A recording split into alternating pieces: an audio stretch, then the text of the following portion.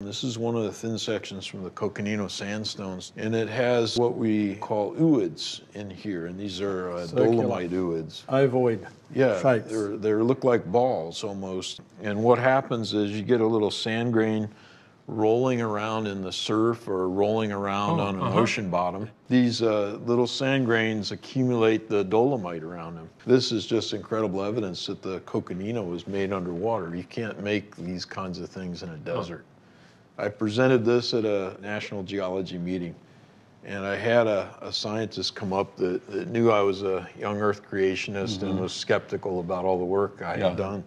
And every geologist would look at that and know that those were ooids, except if We've they're in the coconino coconino. in front of the name. Isn't that interesting? Would not look Oh, at great. it, would not admit, would not even study them to see if they were ooids or not. And it just said, nope, those can't be ooids, those aren't ooids.